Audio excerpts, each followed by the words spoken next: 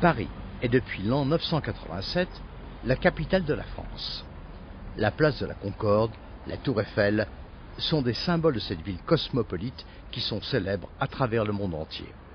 Au même titre que le plus grand musée d'art au monde, le Louvre, les entrées de métro d'Hector Guimard sont désormais monuments classés. La station Place d'Italie, avec sa cage d'escalier typique, est située au sud du centre-ville.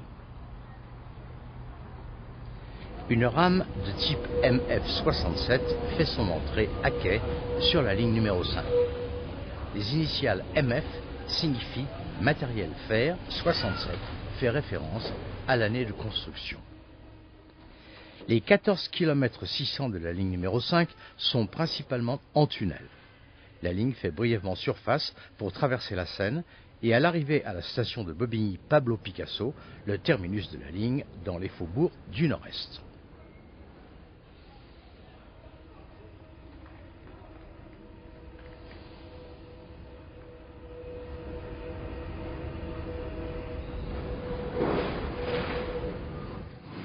Les trains du métro parisien n'ont qu'un conducteur à bord. Certaines rames sont entièrement automatisées et ne nécessitent pas de conducteur. Contrairement à la majeure partie du réseau ferroviaire français, les trains du métro circulent à droite.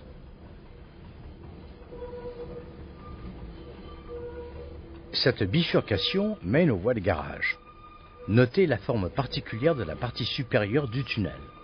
Elle ressemble en quelque sorte à une anse de panier et est typique des tunnels construits sur les premières lignes du réseau.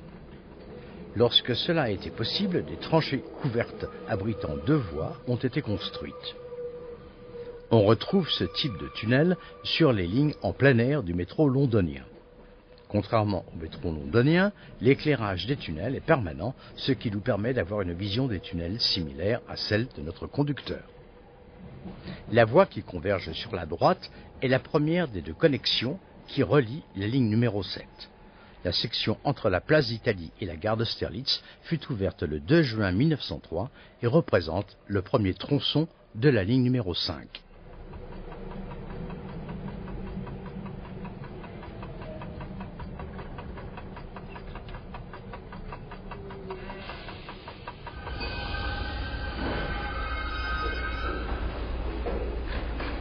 Contrairement à la ligne numéro 5, la majeure partie de la ligne numéro 6 est surélevée. Elle débute à la station Charles de Gaulle Étoile à l'ouest pour rejoindre la station Nation à l'est en passant par la banlieue sud de Paris, parcourant ainsi un total de 13 km 600.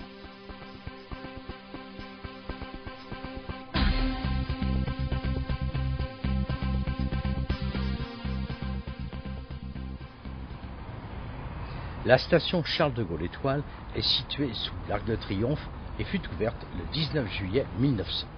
À l'origine, la station était connue sous le nom Étoile, mais fut renommée en 1970. Cette station est typique des stations terminus en boucle. Une voie unique est encadrée par un quai de départ et d'arrivée, ce qui permet de gérer les engorgements et favorise les rotations rapides.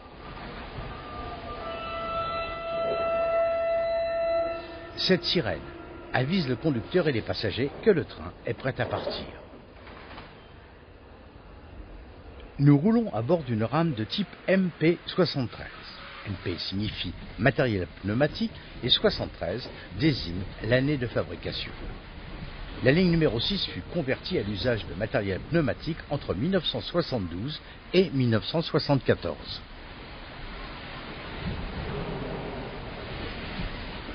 Bien que ressemblante à une double voie conventionnelle, la voie de droite est généralement utilisée pour le garage des rames et un arrangement identique a lieu de l'autre côté de la boucle. En tout, jusqu'à 16 rames peuvent être stationnées ici.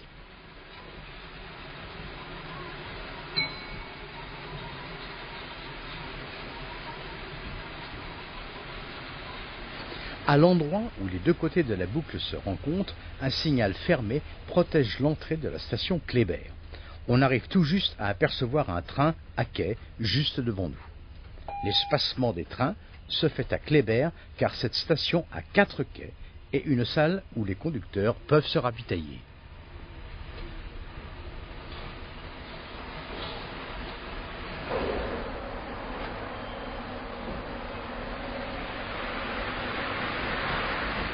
Le service précédent libère le quai de la station Kléber et le signal passe au vert.